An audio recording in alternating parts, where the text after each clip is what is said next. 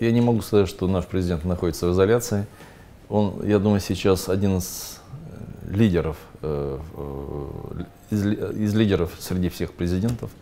Я думаю, к нему сейчас относятся с максимальным уважением. И это только начало. И Владимир Владимирович принимает везде и всюду с большим уважением, поверьте мне. Я это наблюдаю, вижу.